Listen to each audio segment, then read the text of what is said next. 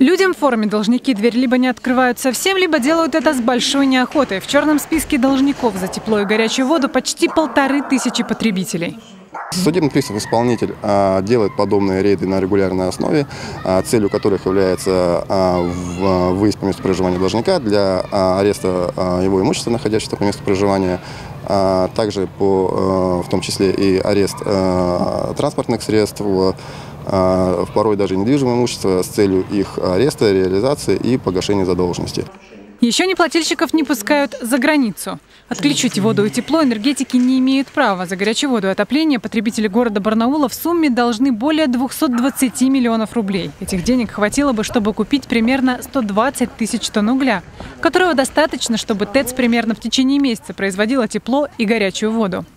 При злостной неуплате э, задолженности мы вправе обратиться в суд. Э, однако при наступлении данных Э, данного случая задолженность увеличивается на сумму пени, на сумму э, э, государственной пошлины и зачастую на сумму исполнительского сбора.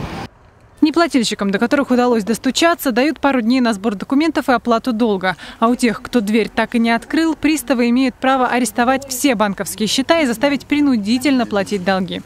В общем, за закрытой дверью от взыскания долгов не спрятаться, но всегда можно пойти мирным путем, договориться.